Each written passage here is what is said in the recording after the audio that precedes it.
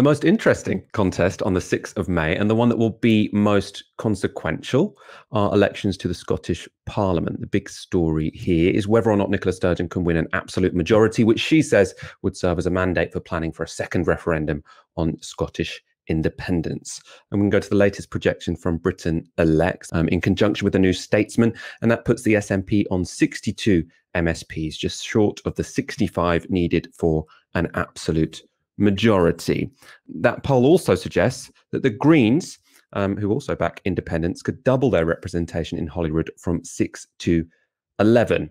So obviously, even if the SNP don't get that absolute majority, there will be an absolute majority for an Indy ref two. Um, now, to find out um, what the Scottish Greens will do if they become kingmakers in the next Scottish Parliament. I'm joined by Ross Greer, a member of the Scottish Parliament with the Scottish Greens. Um, thank you so much for joining us this evening. Thanks for having me. Good to see you. Current polling suggests, in practical terms, the next government could be a lot like the last. You'll have an SNP minority government with the Greens sort of propping it up, essentially voting through um, their budgets. I suppose potentially you could also join a formal coalition with them. My question for you, though, is you know, at the moment you've got SNP government supported by the Greens. You're about to have probably SNP government supported by the Greens. Is a vote for the Greens a vote for the status quo? I mean, from our perspective, you just need to look at what we've been able to do with that position of influence over the last five years. And it's worth saying, eh, yes, we've agreed, you know, budget deals with the SNP, most notably each one of the last five budgets. They do vote with the Conservatives in the Scottish Parliament just about as much as they vote with the Greens. So, particularly on issues like housing, uh, the SNP and the Conservatives are always very keen to defend landlords, whereas you see the Greens and, and to an extent Labour standing up for tenants what we've done over the last five years, though, with the budgets, we've been able to introduce stuff like uh, free school meals for all primary pupils. So that'll be coming in over the next year because that was our price of this year's budget. Free bus travel for everyone under the age of 22. About half a billion pounds back into our local government budgets, um, and stuff like we, the Green Party, rewrote the income tax system in Scotland. So income tax was devolved for the first time after the 2016 election, and one of our uh, prices, I think it was the 2018 budget, um, was that the income tax system be rewritten so the richest people, the highest earners, pay more, and those on the lowest incomes actually got a small tax cut. So you, you've seen the influence that we've been able to have over the the last five years. It's not been on every issue. On you know, on other issues, the, the government can count on other parties' support where they want to preserve the status quo. Um, where we've been able to really make a mark has been on issues where other parties, frankly, wouldn't wouldn't work with them. I mean, the controversy with the Greens' role, as far as I understand it, is, um, I suppose, voting for budgets which which put through quite severe cuts to local councils. So this is Labour Party research um, reported by the Herald, which suggests that 937 million pounds in cuts have been made to local government over the past eight years. Obviously, only four four of those years, um, you were supporting the government. Um, is there anything you think the Greens could have done differently? You know, could, could you have played a, a harder a harder bargain in trying to limit those cuts to local government?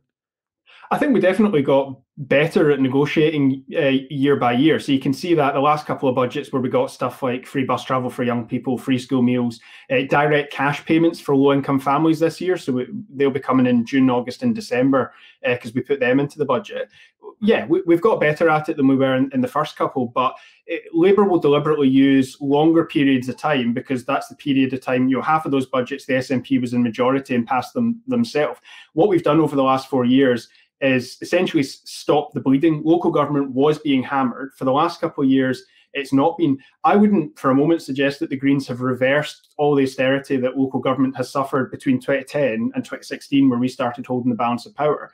But we put half a billion pounds back in, which in Scottish terms is is pretty significant, and it stopped the massive austerity that was happening up until that point. Yet we need far more fundamental change. I mean, we like the, the haggling that we do over a couple of hundred million pounds every year doesn't fundamentally solve the problem of, of local government finance. Council tax rates in Scotland were last set in 1992. I wasn't born in 1992, so we have members of parliament who are fiddling around the edges of a local government tax system that is older than I am. Most people don't even pay the right rate of council tax. And trying to get not just the SNP, but Labour and others on board with that more fundamental reform, the, the really transformational stuff that the Greens want, that's that's been what's challenging. So we, we've done the best we can with the the position of influence we had. I think for five or six MSPs, you know, we, we've punched above our weight. We're proud of what we've done. would it have been different if it had been a green majority government? Of course, it would have been. You know, these weren't green budgets; they were SNP budgets that we were able to really significantly influence. Compare and contrast that with Labour, whose strategy and budget negotiations was to try and force the SNP into a corner where they could only do a deal with the Tories, and it would be a really bad budget, and Labour could turn around and say, "See, we told you they were just the tartan Tories all along." we we never wanted to cooperate with that kind of strategy because people suffer as a result of that. That those aren't good budgets for public services. They would have been, you know, even worse for our councils. So Labour's strategy was never to get a good budget.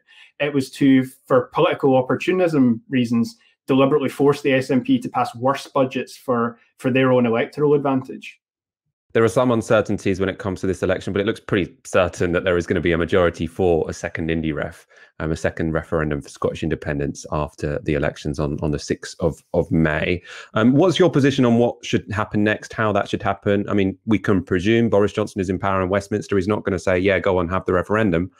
Uh, do you think they should go and do, uh, I suppose, an illegal referendum where you just organise it without the, the, the support of, of, of the Westminster government? The kind of trite answer to this, I suppose, is that um, I, I, don't want to live in exile in Belgium, and you just need to look at the the experience of our friends in Catalonia to see that that's that's not a path to independence. Um, the, there are there are avenues that are available to us though, but most interestingly has been the, the briefings that have come out of, of Downing Street and the Tories over the last couple of weeks that instead of this hardline position of, of opposition, you can never have a referendum even if you voted for it, they're beginning to recognise that that's actually just pushing more people towards the independence cause because it's validating our argument about the democratic deficit. So what the briefing now is that they might try and bounce us into an early referendum and to try and have it really quickly. And they think the, the no side, the unionist side, believe that they would stand a better chance of winning if we've not had a chance to prepare our post pandemic, our post COVID argument for independence. So we're seeing a shift in their tactics, which I welcome because it's obviously to a slightly more democratic or a slightly less anti democratic position.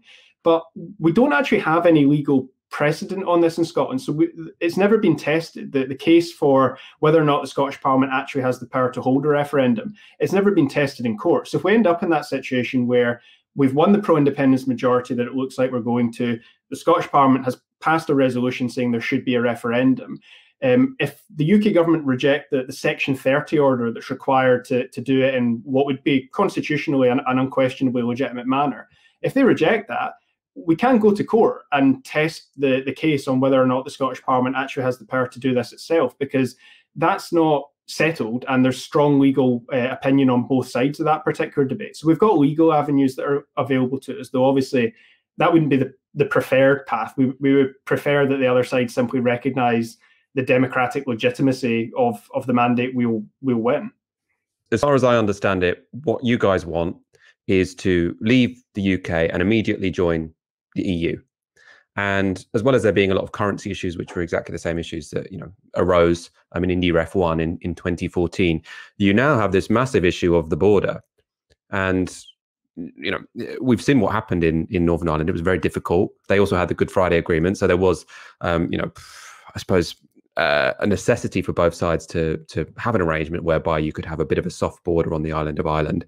How, if an independent Scotland joins the EU and the rest of the UK still has a fairly hard Brexit situation with with the European Union, are you not going to have a hard border between England and, and Scotland where people have to you know have checks before they can can cross that border, or at least goods will have to have checks before they can cross that border?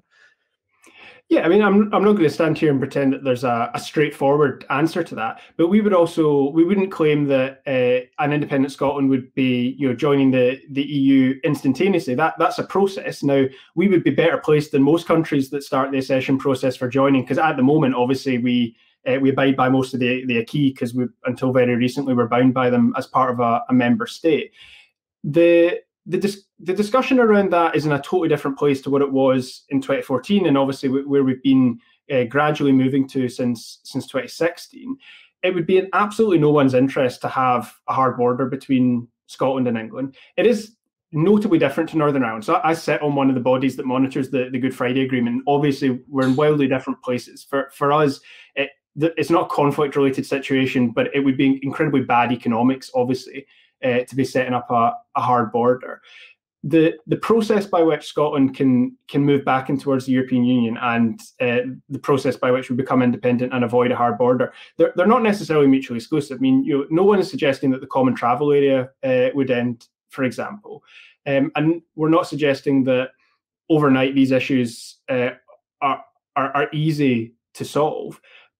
But what we're what we're asking for here is is the opportunity to have that debate. So we want an opportunity. We've not set out our detailed prospectus for how independence would look like on day one because we've not yet won the the mandate to have that referendum. That's what this election is all about. And we recognise the plans that were there in 2014 they, they don't apply anymore to quite a significant extent on both sides. Both sides' arguments have completely changed since 2014 what we as a country deserve is the opportunity to have this debate and to thrash out exactly how that would work. And for those of us who are pro EU and, and, believe Scotland's future should be should be in the European Union, that requires a different case to the one that existed in, in 2014. And we need we need the time, the opportunity to actually build up and, and develop that case. What we're trying to do between now and Thursday is the the pre-debate, the pre-argument, the the debate about whether or not we should even have this debate should Scotland have another opportunity at self determination? And you know, clearly, it looks like we're heading towards a majority for that at least.